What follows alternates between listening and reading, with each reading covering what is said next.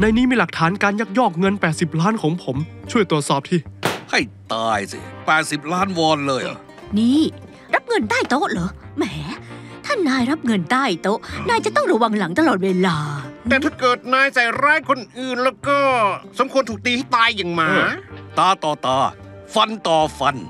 มันเป็นกฎที่คนในวงการเขาก็รู้จักกันดี นี่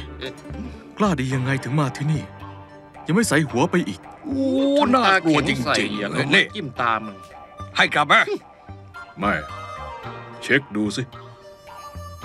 พี่ครับ นี่เป็นปัญหาในครอบครัวเรานะ พวกเขาก็ครอบครัวฉัน รีบจัดการเลย สุกงครับตรวจให้ละเอียดที่สุดเลยนะครับ เริ่มได้เลย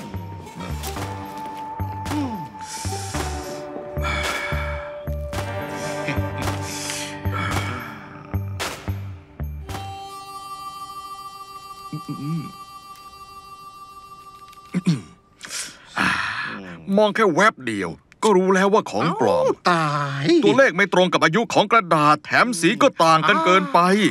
หึ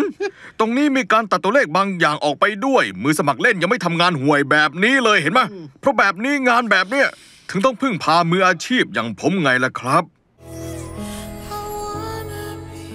แม็กซ์ความบันเทิงที่ใช่ เพื่อทุก gen enjoy ครบทั้งหนังดีซีรีส์ดัง พากย์ไทย ครบทุกเรื่อง